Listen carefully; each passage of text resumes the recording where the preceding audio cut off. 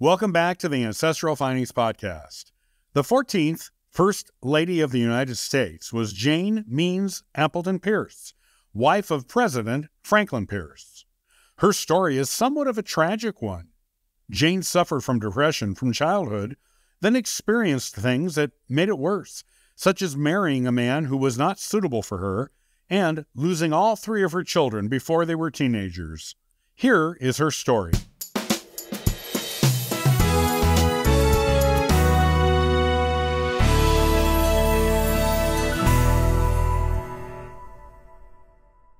Born March 12, 1806, in Hampton, New Hampshire, Jane Means Appleton would one day become the wife of the 14th President of the United States, Franklin Pierce.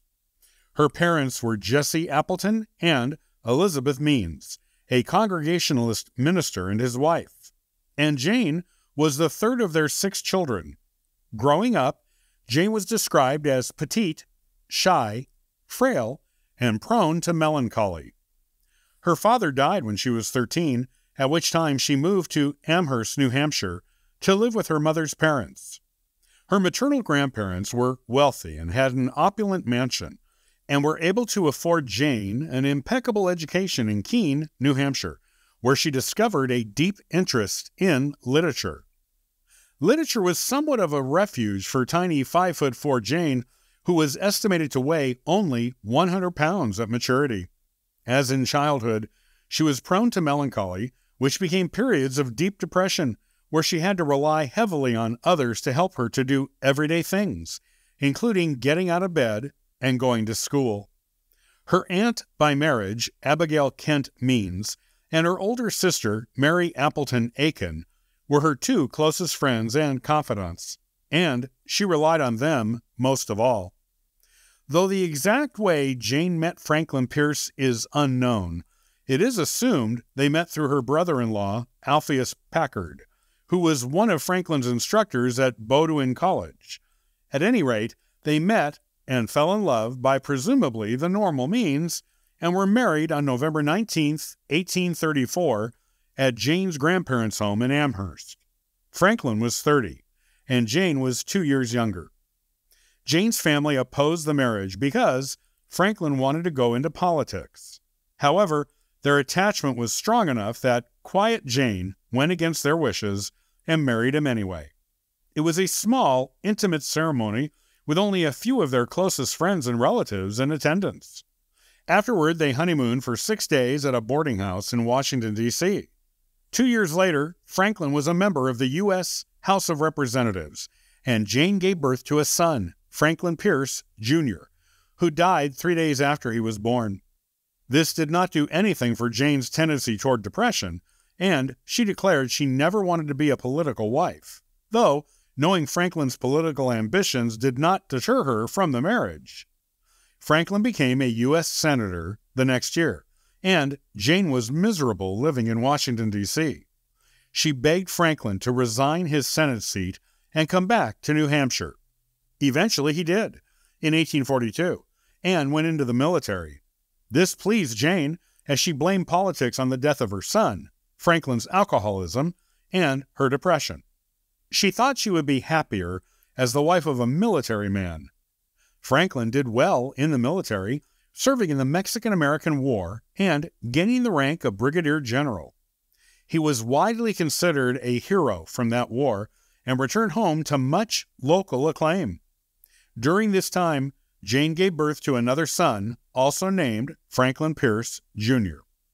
The Pierce family lived a quiet domestic life for four years in Concord, New Hampshire, and Franklin even turned down an offer for a post as U.S. Postmaster General because Jane objected. He was also offered a seat in the Senate and the position of governor of New Hampshire, all because Jane wanted him to. Franklin was clearly devoted to Jane to turn down all of these prestigious political appointments because she desired it.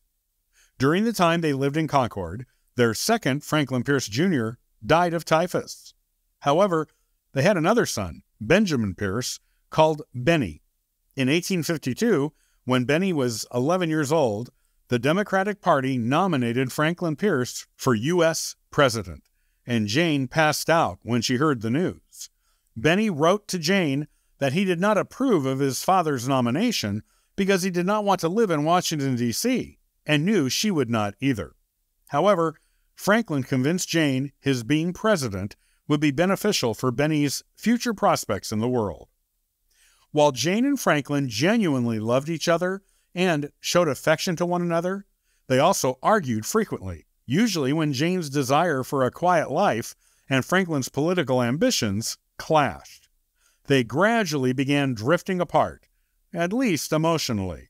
Two months before Franklin's inauguration, after he won the election, the Pierce family was traveling from Andover, Massachusetts to Concord, New Hampshire, to attend the funeral of a family friend.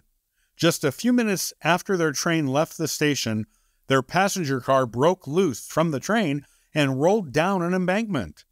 Benny was killed in the accident and was the only person killed in the incident. It was the last straw for Jane. This tragedy was more than her fragile emotions could take. She did not attend the inauguration and believed the loss of all of her children, particularly Benny, was because God was displeased with Franklin's political ambition. She did move into the White House, but she was not happy about it. For two of the four years Franklin was president, she remained upstairs in the White House, refusing to come down, and spent her days writing letters to Benny. Her aunt by marriage, Abigail Kent Means, took over official White House hosting duties for her during this time. Jane made her first official public appearance as First Lady during a New Year's reception in January of 1855, and then served as White House hostess on a semi regular basis after that, with Abigail filling in for her during the times Jane felt unable to perform as First Lady. Franklin only served one term as president, and he and Jane went back to Concord. She died of tuberculosis six years later and was buried in the Old North Cemetery in Concord. Franklin was buried next to her six years later.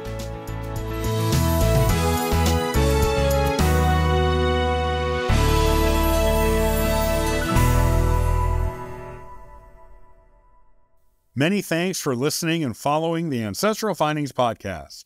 Visit ancestralfindings.com to download a free genealogy ebook, inquire about a free genealogy lookup, and register for the weekly historical postcard giveaway. And thank you to everyone who contributes via Patreon. It helps us keep this car on the road, this plane in the air, and this ship on course. I hope you have a wonderful day and happy searching.